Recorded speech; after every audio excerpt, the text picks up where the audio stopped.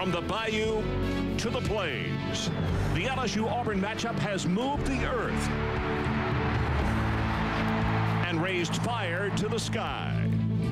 The Bayou Bengals come touting a new coach in Nick Saban. The hope, restore the roar of a once proud program. LSU must figure out a way to stop the Auburn running game.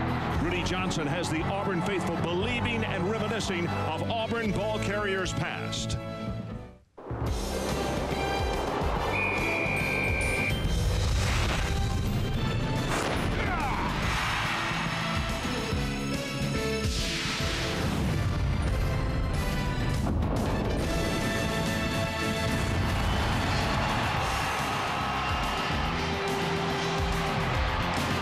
Tigers taking the field here before a jam-packed house of over 85,000 at Jordan-Hare Stadium.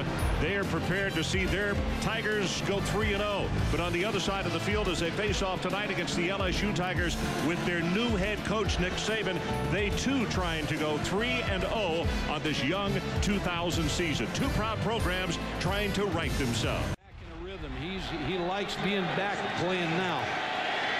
Watching video from the Houston game, he likes to put his head down and run hard. Four carries for 10 as the quick screen comes out complete to Reed. And Reed is going to be tripped up close to the first down. In fact, from where they've marked it, he will have the first down at the 27. Now, Josh Booty would like to lead his LSU team because I, I really feel uh, that Auburn has some outstanding cornerbacks and tight ends matched against safeties tonight would benefit LSU. You were looking at Robert Royal, big number 86, a senior from New Orleans. DiMaggio, we gave you his dimensions at 6'6", almost 260. Play action, reverses it out. Everybody's covered, gonna go long. This guy is not covered, and the ball is caught, and that's Reed. The man we were just talking about breaks a tackle, and he will score from 75.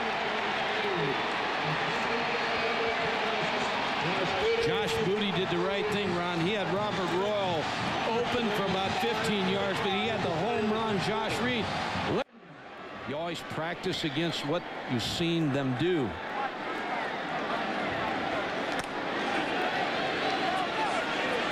Noel Mazzone, offensive coordinator for Auburn, pacing the sidelines as Johnson gets the ball, fumbles, picked up and recovered by LSU, and that's Faulk. Trevor Faulk, a sophomore from Lafayette.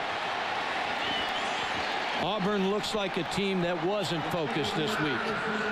Tommy Tuberville's biggest fears are coming to fruition.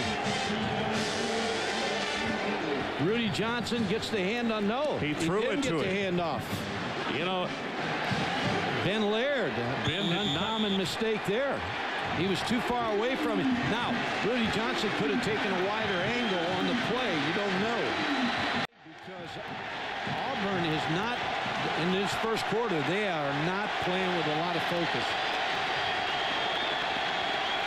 that's Royal in motion.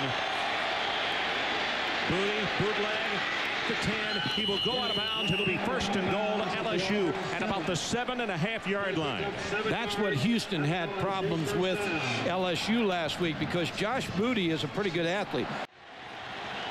Reed has already got three catches for 90 yards and a touchdown. Third and goal. They roll the pocket. Going to have to hurry. Just throws it out of the back of the end zone. That was a smart thing to do. Excellent coverage on the part of Auburn. It was Torbor, Reggie Torbor, number 82, the redshirt freshman Yeah, with John- the pressure. John Corbello. A 22-yard attempt, and this ball is sitting squarely in the middle of the field. It's Josh Booty, the holder. Good pass, and he splits him. So with 116, the clock continues to run down to 115 left in this opening quarter. A shock here on the plains as far as the Auburn faithful are concerned as they are behind by a count of 10 to nothing. But the LSU Tigers appear to be totally focused Oh, as they totally come in here focused, tonight. ready Yeah. to come in here for a win. Could be the last play of the opening quarter. Here comes the blitz off the corner, lobs the pass, one-on-one. Daniels makes the catch just across midfield. That'll move the sticks. Ron, when you press cover Ronnie Daniels or any receiver, that's Robert Davis, number nine. You can expect to fade because all other routes are off. Now you just release outside, fade, and the ball's going to be thrown up for you, and you got to get up there and make the catch. Ronnie Daniels, two catches already tonight against Robert Davis. Back to the start of the second quarter. Daniels, three catches tonight for Auburn, 44 yards. In his first three games, he had three for 72. But Mike, to me, the big number, Johnson. Five carries, only 11 first quarter yards. Yeah, they got to get him off.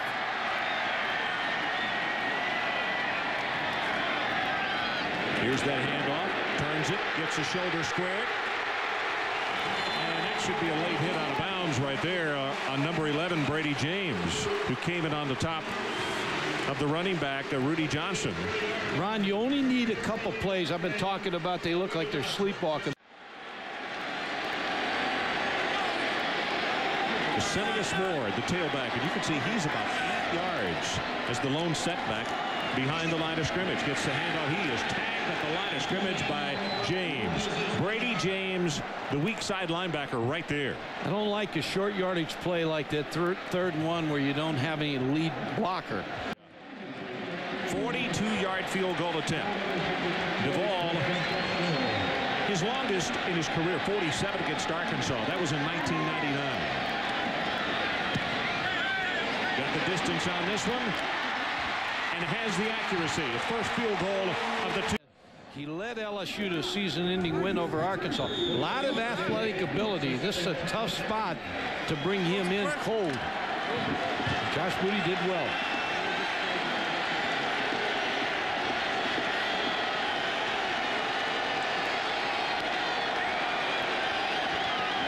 This time Davey going to go from the shotgun with a second down and 10.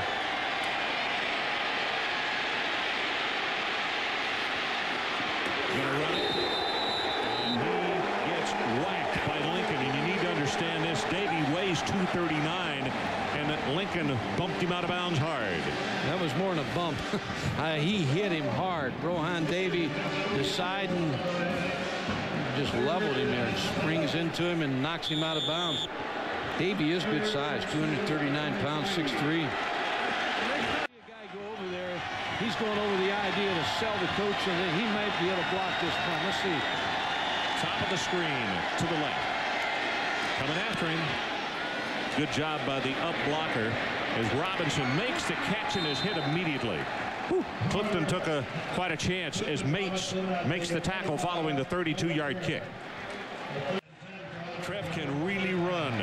We have seen him with a couple of really hard, tough hits tonight. 6'3", 225, good-looking linebacker.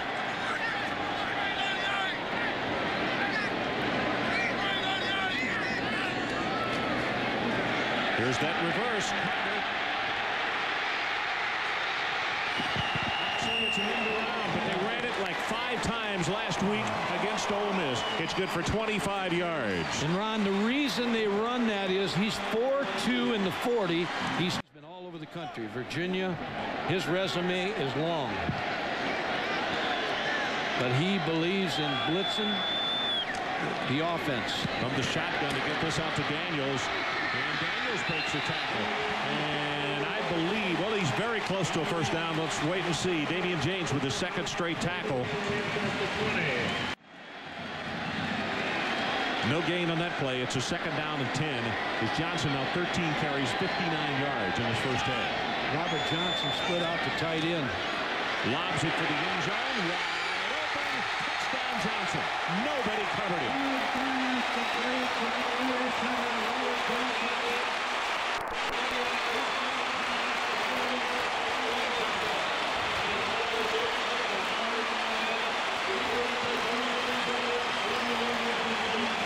Almost could see it coming, Ron. They flanked the tight end. Now Robert Johnson over here, and there's a bust. They're both playing the smash route. Robert Johnson just heads for the corner. Moved Robinson, Travaris Robinson, to the right side. He couldn't get there on the left side. Let's see if he thinks he can get there from the right side. Cuts inside. He was close. this spiral's not going to turn over as a flag is down and Robinson, Clifton Robinson, takes it back over toward the LSU sideline. And the tackle finally made just inside the 50-yard line. Damian James with his third special teams tackle tonight. LSU thinking about not giving them an inch. Duval preparing on the sideline, hoping for just what Mike's talking about. They fake the little counter play. Zings it. Robinson. Talk about a play action paying off. Held everybody, and that's what we were talking about in the open run. When you have Rudi Johnson in the backfield, everybody's going to flow with Rudi Johnson. Clifton Robinson sneaks out here in a corner route. Ben Leard puts it right on the money. Fred Booker, the corner. Damon Duval. This is a 32-yard attempt.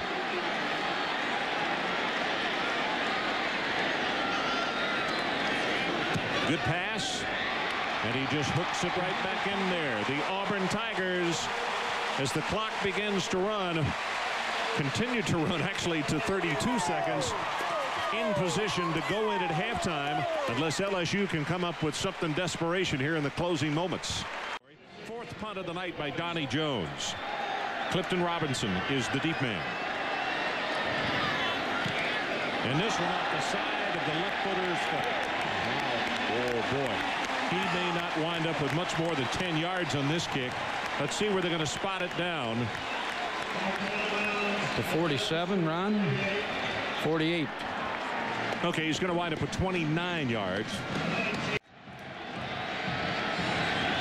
Third down. They need to take it to the 42 to keep this drive going. Auburn by three.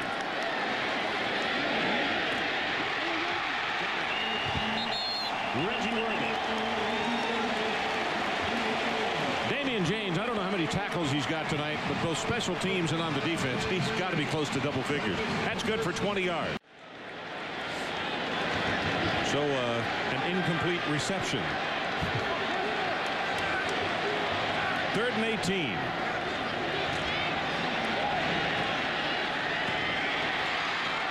Worthy well short of the first down. Robert Davis makes the play defensively for the LSU Tigers.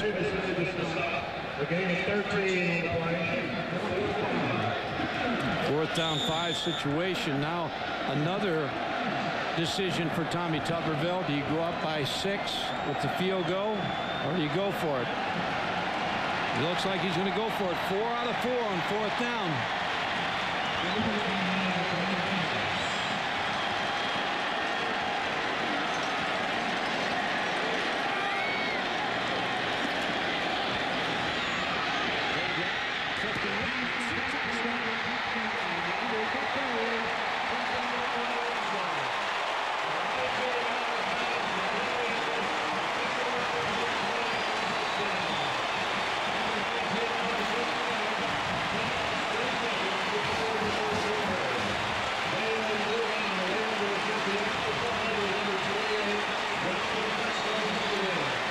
Five out of five now in fourth down conversions. Clifton Robinson against Lionel Thomas. Ben Leard put the ball right out there to catch. Well, they- they've only got 10 seconds once they break the huddle. They're down to seven.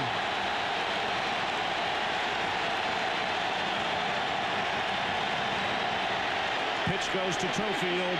Turns the corner. He'll have it. And Nick Saban saying that uh, if you can go for a fourth down conversion, I'll go for one. Simmons and Casher combining on the tackle, and he really paid for this. Let's see if LSU can use that fourth down and get down this football field and score.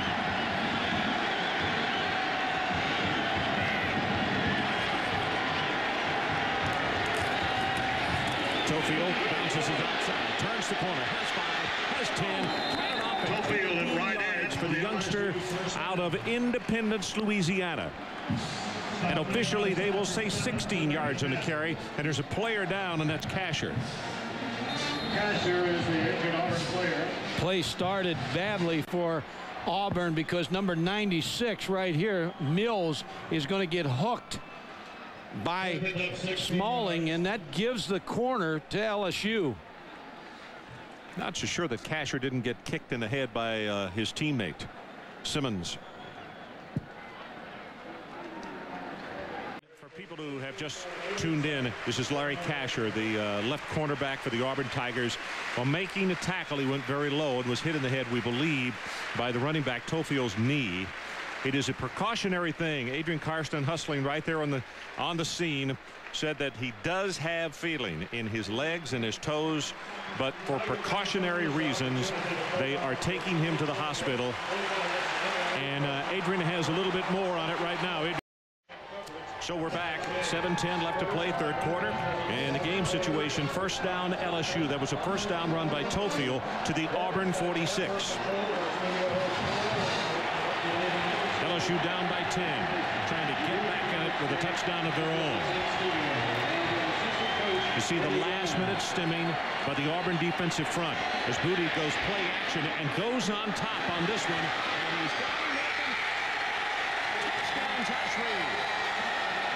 Right after Travaris Robinson, the corner that replaced Larry Casher and got Josh Reed behind him for the touchdown pass. Jimbo Fisher making the call.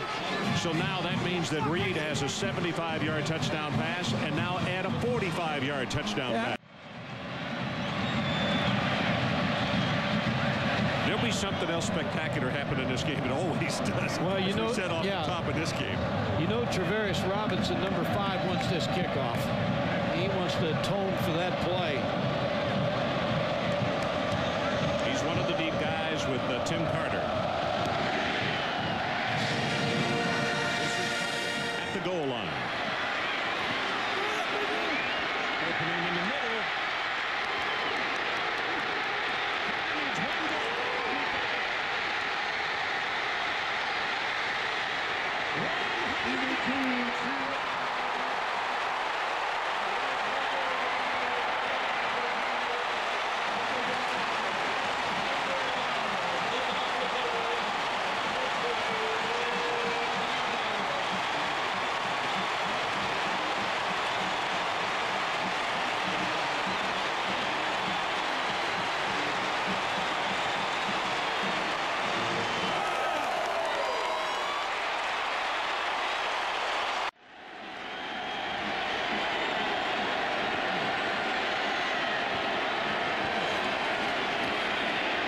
Blitz, they pick it up. Lincoln goes to the ground, just throws it very, very long, and it is.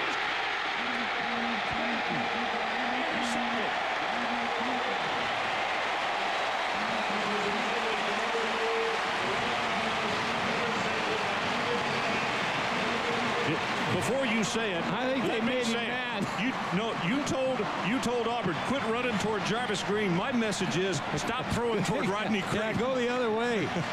Rodney Crayton got a penalty two plays ago. He said, sat on a route and he said, I'm going to intercept this one. Sure, the offensive coordinator will go back and uh, look at these tapes. And again, he's still trying to figure a way to play two quarterbacks. Booty is one of seven in the fourth quarter for 12 yards and one interception. That one tipped at the line of scrimmage. And it was Mark Brown, the young man who had that tough, tough hit.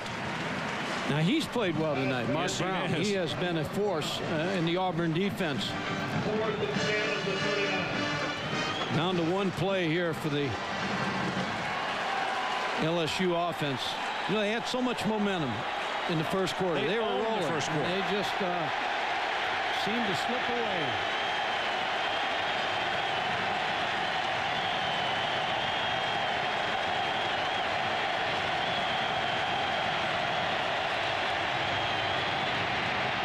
Booty had to change his mind because he could see coming up Torbor with the pressure, but he also could see Robinson was coming up, had been uh, playing off the ball, and he would have picked that one off. And, and Ron, give credit to John Lovett, the defensive coordinator. He is the man at the top of the screen, actually the inside man. Right number here. Yeah. Two. Johnson, look at Evans in front of him. He just felt him. Pushed out of bounds. That's what happens when two guys now get three games into the Oh, yeah. season. Evans looking behind him, wanting to make sure he felt where the tailback was, and then accelerating for the block. And those 25% that voted with a computer, they said, hey, there's our guy, Rudi. Look at number 44, Heath Evans, gets in the way of uh, two defensive players for LSU and big yardage for Rudi. He's going to increase that nine-yard average in this fourth quarter.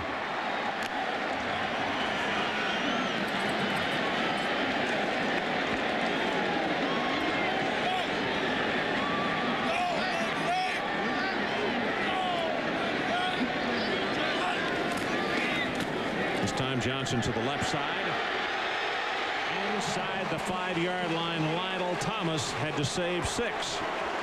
Ron, he is a true hero here at Auburn. Uh, walking around the uh, business section, they've got Rudi all over the their windows. Run, Rudi, run. 56 yards in the fourth quarter. Under one minute left in our ball game. And the Auburn Tigers with a fourth down.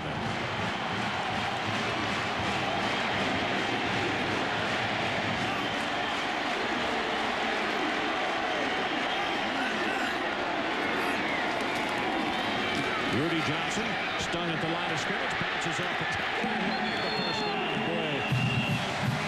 Boy, came in a little late there. A lot of LSU players are going to see his number tonight. In their sleep. There they are, the two tandem, Evans and Johnson. So Johnson now 35 carries 137 yards.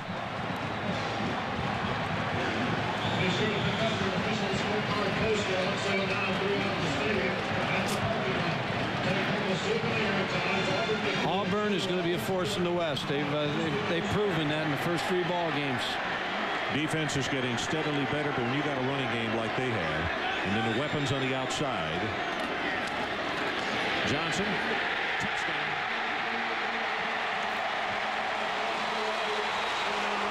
With three seconds left on the clock.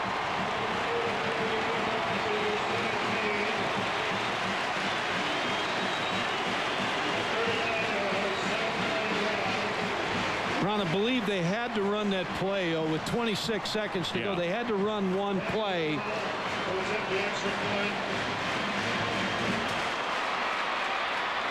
Damon Duval tries to make it a 17-point Auburn Tiger lead. And he does. And while, of course, the clock does not run during an extra point attempt, so still three seconds up there, and LSU will get to touch it one more time on this kick return.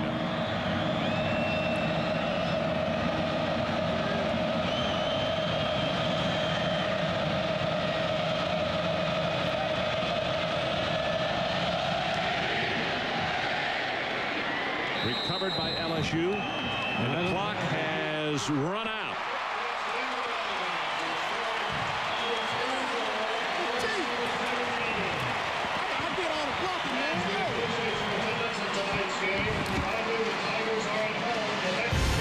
So the final score, Auburn 34, LSU 17. Coming up next, Sports Center. Next Saturday will be in Big Ten country as the third-ranked Michigan takes on Illinois. For Mike Gottfried and Adrian Karsten, I'm Ron Franklin. This has been a presentation of ESPN, the worldwide leader in sports. For more, log on to ESPN.com, your home for college football on the internet. Good night, everybody.